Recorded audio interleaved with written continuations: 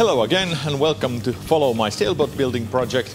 My name is Panu and we are here in the bit winterish Finland and I have just started to build this 15 meter liveaboard cruising sailboat. In last episode you saw me shaping this first frame and since that really nothing major has happened. It's now early December already and what has happened has been uh, negotiation with the epoxy supplier and that batch of 40 kilograms of epoxy should arrive next week and then I can really start manufacturing these frames again. But for this video, I figure out I have to do something, so I ask in social media, and YouTube and Facebook and Instagram, and from my patrons some questions. This is that way an QA video. I think I'll start with the overall questions. And the first one is, how is life in Finland nowadays? Well, interesting question. Well, I really can't complain. Finland still is the happiest, safest, and one of the wealthiest countries in the world. So, yeah, really the fall has now ended and the winter has come. It has been now on below zero for a few weeks already. And things are drying up, which is good. Of course, there is dark clouds of the Ukrainian war that's going on, and that brings some worries here as well. And uh, well, for most people, the major thing today is, of course, the price of electricity and energy overall. And that way, I think it's good that I don't have yet heating in here because it would be so expensive at the moment. So really don't know what's going to happen this winter. There might be some scheduled uh, blackouts going or something because there is just not enough electrical capacity in Finland currently. So that's kind of a big deal right now. But that general issue out of the way and let's go into the bold things. Uh, there was this question, uh, not many people fully understand what strip building is all about, why using the final frames instead of molds, why building upside down, how the planking will be done and stuff like that. And yeah, there were there are so many questions in this pack and I think I'm going to answer them while I'm on the computer because it's easier to visualize what's going on. All right, here is my boat frames and the shape of the hull. And uh, what cold molding means, uh, what I think it means is that you don't use any heat to bend the wood, but just using thin strips of wood that can be molded cold and laminated together with some glue.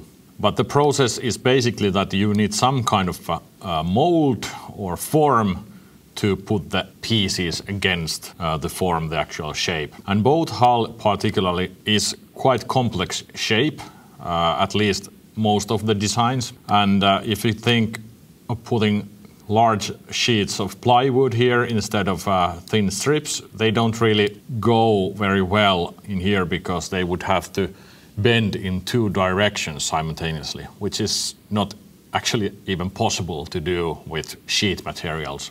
There is actually great video of Distant Shores channel. They are building aluminum boat and they explain how the aluminum sheets are formed to make this compound curve surface. But anyway, uh, my boat will be done with strip planking, which means that on top of these frames there will be thin strips of wood glued against each other, and that will be eventually covered with a couple of layers of uh, thin wood veneers. So I have uh, this section right here that kind of uh, demonstrates what's that all about. Uh, so there will be these thin planks. Uh, actually, they are going to be a little narrower than in this picture. And they are glued together with some joints on them. And they are also going to be nailed down together like this.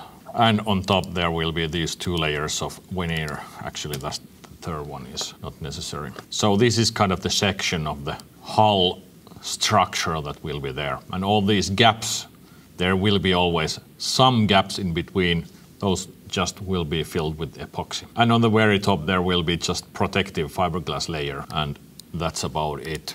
There are many ways to do this. Uh, I'm going to use these strips of wood, but you can use uh, thin strips of plywood or just veneers only, but all of those probably would need additional stringers or some other structures. So these are, with combination of these big frames should bring pretty good structure for the boat. And the reason why the boat is done upside down is just purely making it easier. Uh, you can imagine if I would put these frames like this and hold them up with something and then try to put the planks against the hull here in the bottom and it would be quite difficult and not very ergonomically good option. So the boat will be built upside down to this stage with the hull on and completed and then it will be flipped over. And uh, many sources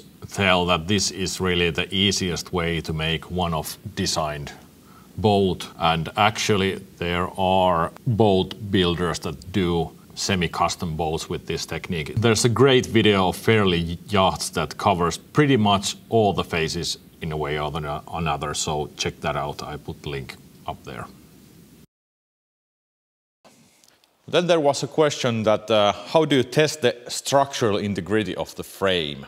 And actually, I don't. Uh, I don't know if there is any standard way to do that except for breaking the thing down and kind of measure something out of that.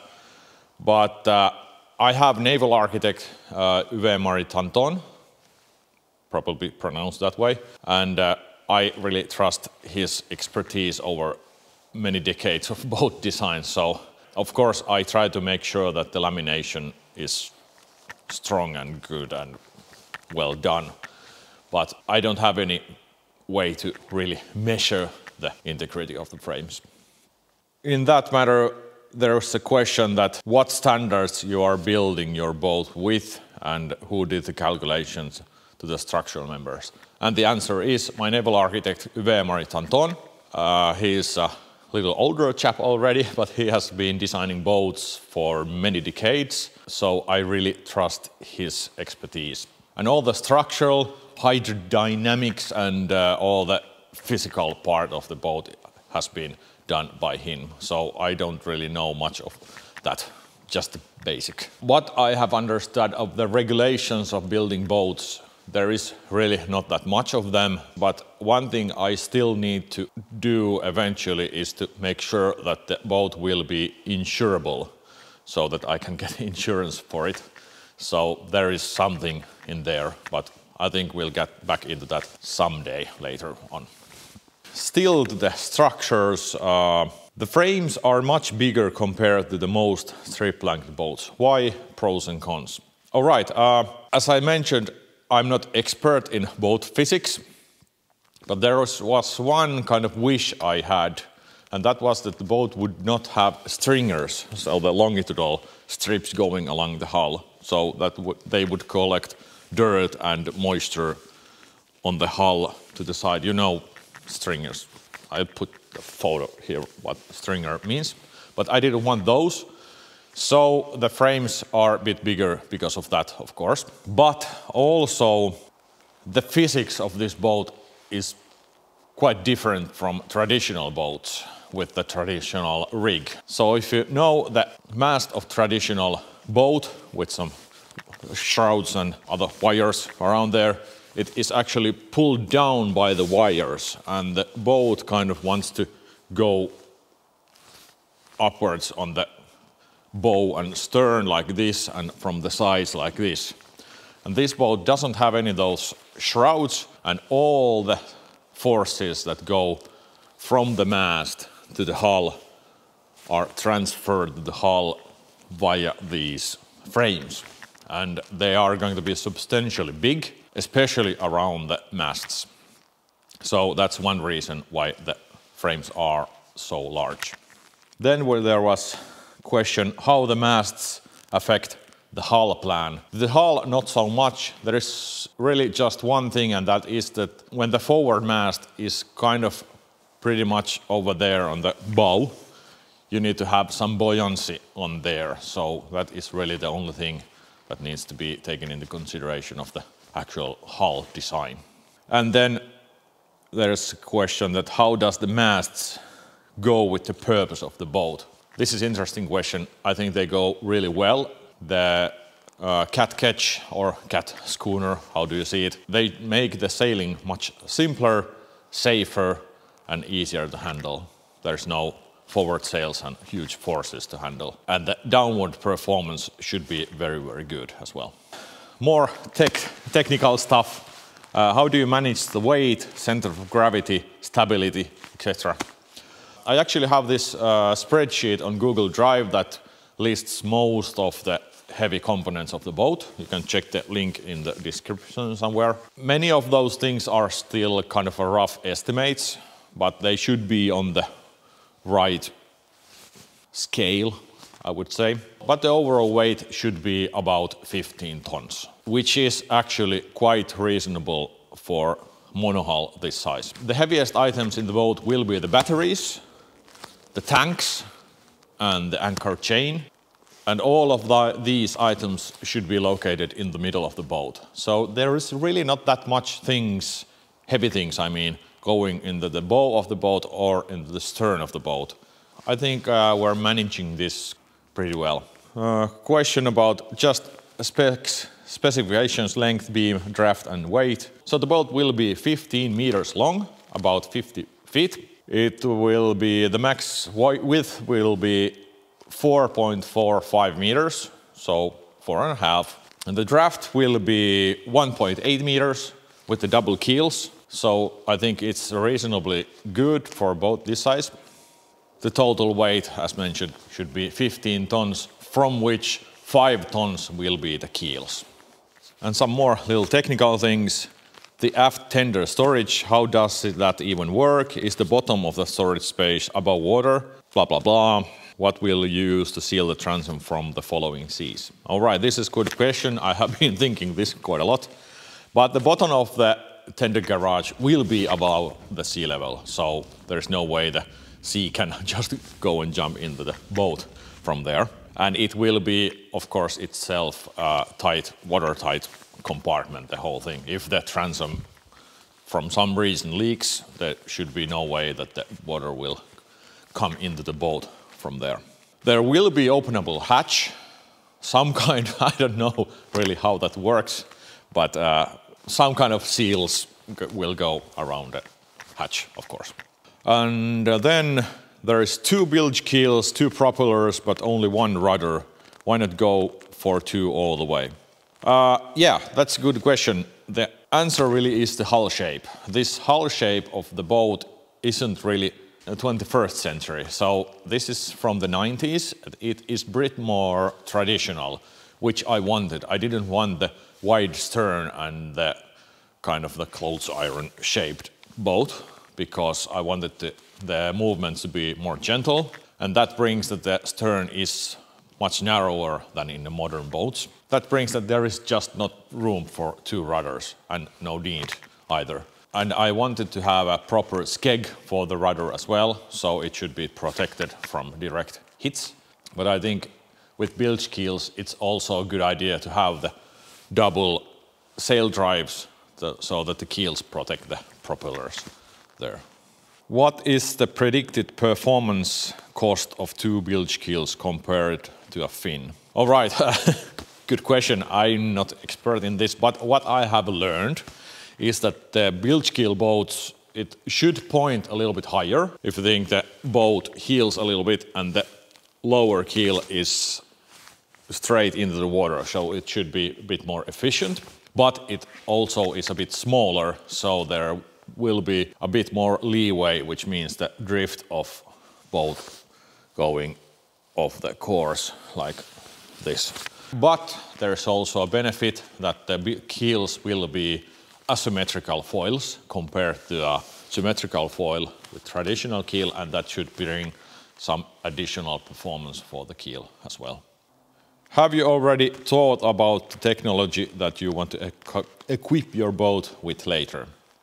Well, not that much. I think there will be basic things for navigation and uh, safety and stuff like that. I would like to have it kind of simple, but also easy to manage and easy to service and so on. So, well, we get back into that later. It's in a few years from now, so I don't know how the technology will be developed during these next few years. Probably quite much.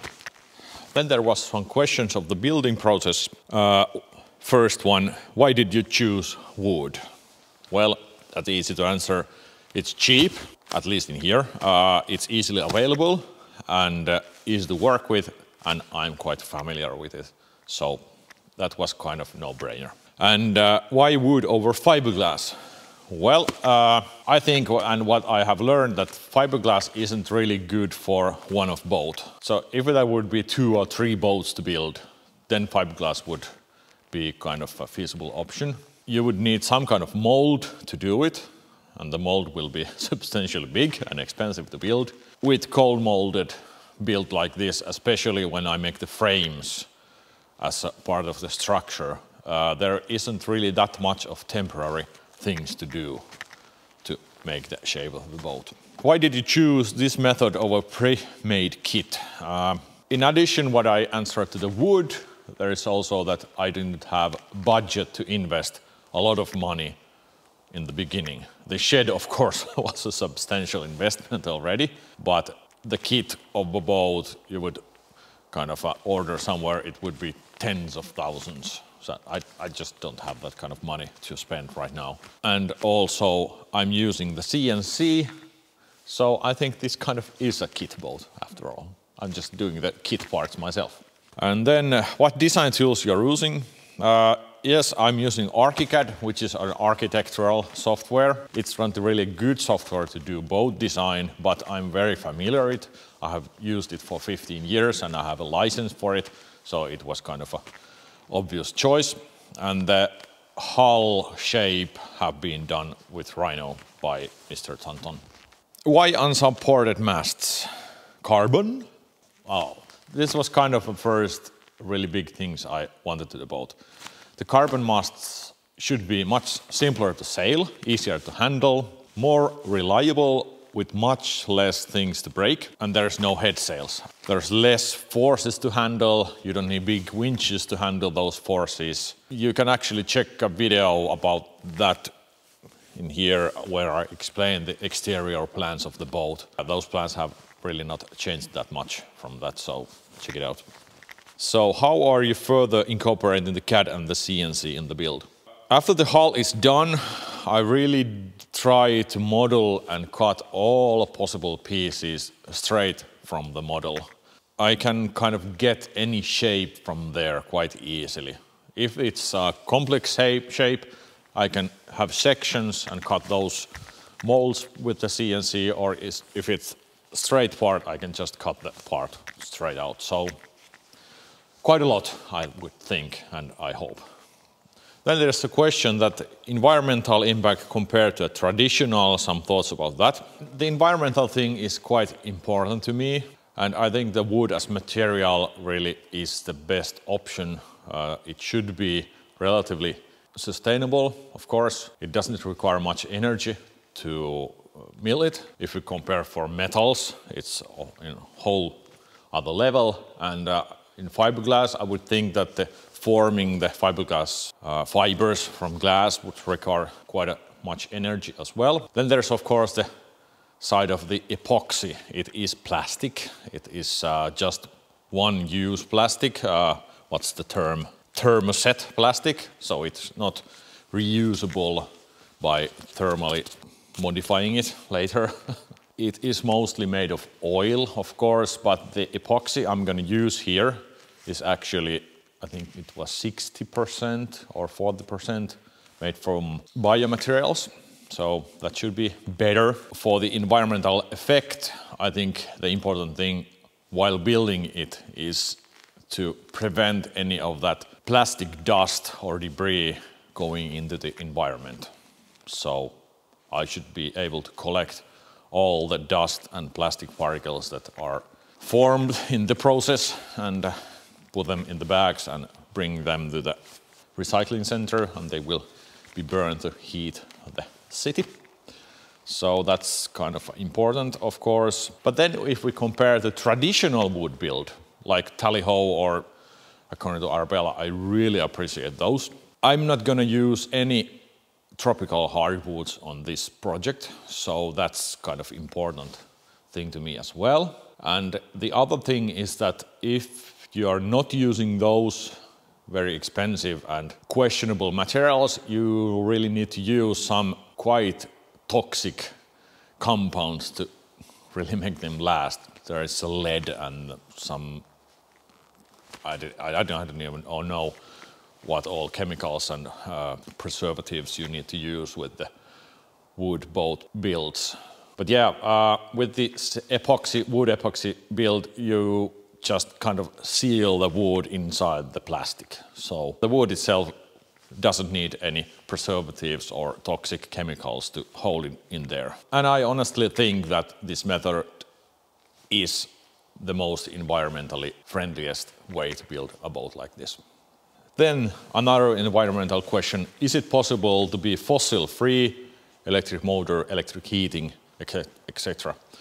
And this is a very, very interesting question. Uh, I could do a whole video about this. But from the beginning, I've had an opinion that I should go fully electric propulsion, and I will do that. And it should be enough for most of the time.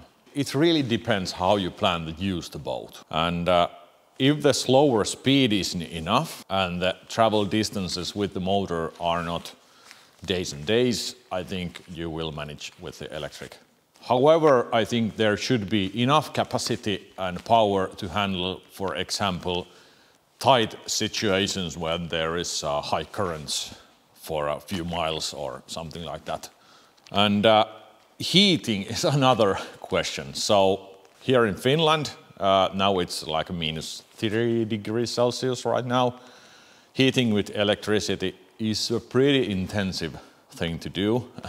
Heat pump is the obvious choice here, and the interior volume of a boat isn't really that big. So I think it would be possible to heat the boat with heat pump with electricity.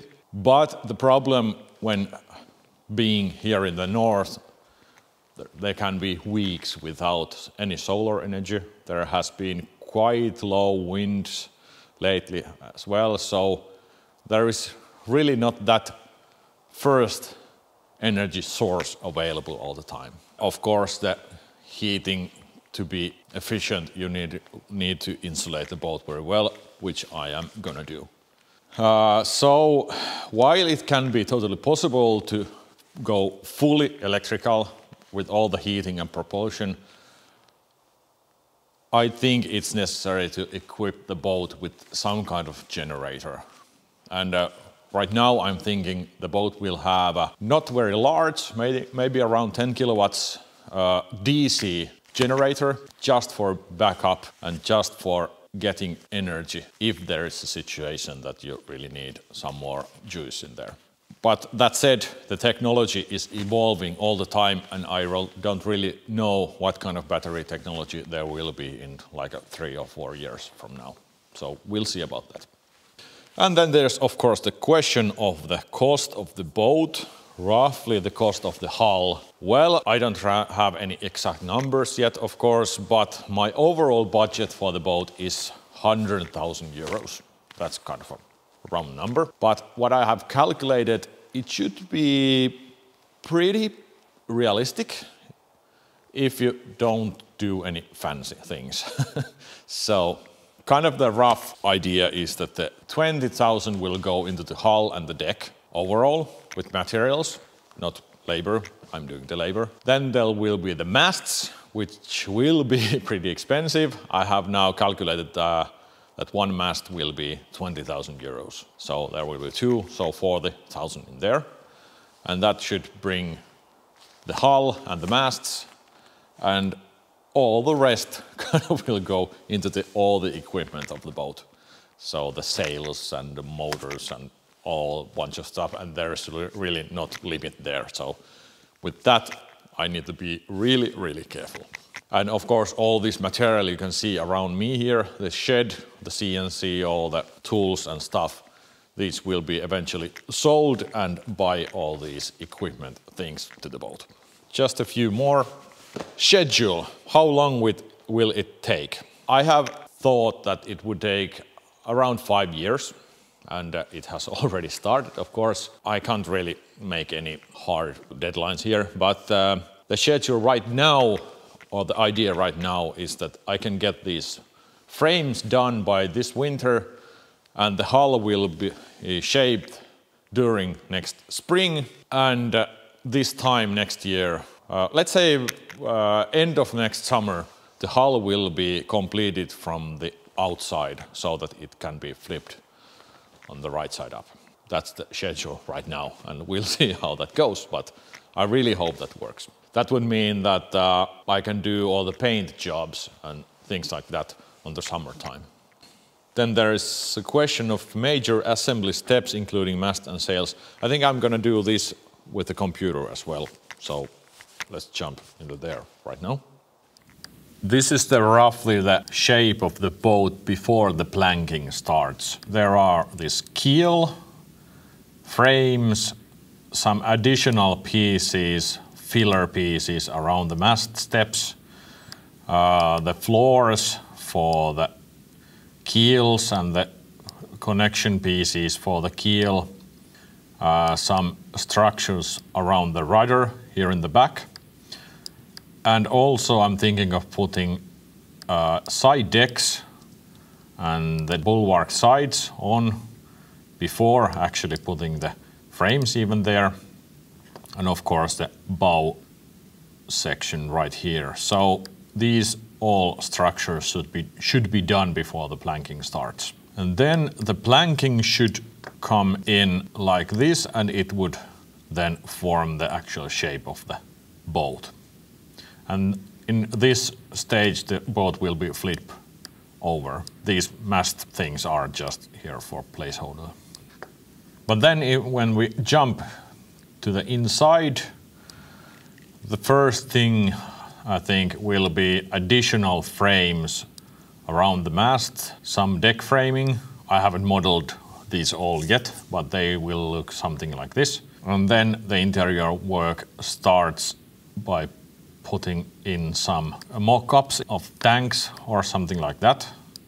Maybe some equipment also through hulls for motors or something like that, I don't know. And then starts the work with the soles to the lowest section, then some walls. Inside there, bulkheads, semi-bulkheads, additional walls to form the shapes of the cabins, then cabin soles, some interior work, well, not all of this, obviously, but some something in, inside there. And uh, then the shape of the cabin tops, the walls, something like this. And then finally, the top sides of the cabins.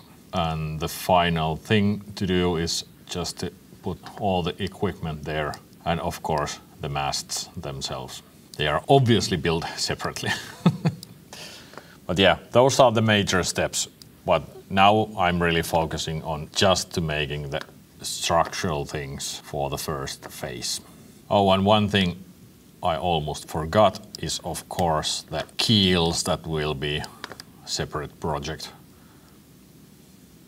That can be started on the side project pretty soon, actually. We'll see. And then just last few questions before the battery of the microphone and the camera dies. Uh, do you actually plan to live in the boat? Answer is yes. I am uh, right now also trying to develop my architectural company in the way that I can do the work anywhere in the world. Do you have any specific ideas where do you want to sail with this thing and how this is connected to the boat design? Well, yes, there is this unofficial goal that I have been talking about. I like snowboarding. I'm not very good at it, but I like that and the plan is kind of a sail the all continents to do some snowboarding.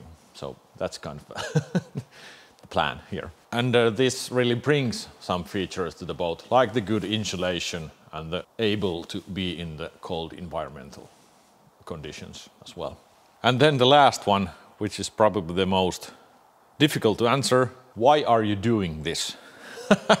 that is interesting. Uh, yes, I don't know. Maybe people just has to do something and uh, I have been stuck in the dream to sail the world someday.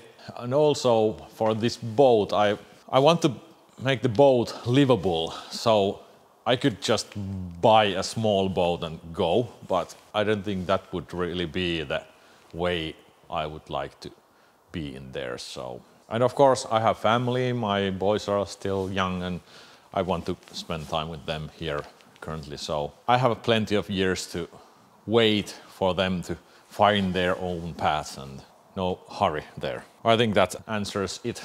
it is a big project, of course, but well, now I'm stuck with it and I hope I can manage it ready someday. And uh, at this point, I want to thank all the questions from the, my patrons and from the viewers in the YouTube and Facebook and Instagram. And uh, in next video, I really, really hope that the epoxy will arrive soon and I start to manufacture the boat parts for good. So it has been very frustratingly slow few weeks just figuring that out. I am really happy to announce that all the time hasn't gone waste because we have come in agreement that I will get the epoxy as sponsorship, not for free, but with substantial discount and uh, more about that later. It is really awesome and from that fact, I want to thank all of you viewers, all the subscribers, and all my patrons and everybody who has asked me these questions. And I really hope that this thing starts rolling from here. It's now December, Christmas is coming soon, so happy waiting for holidays or Christmas, whatever you do around there, all the people around the world. well, we'll see you in next video. Bye bye.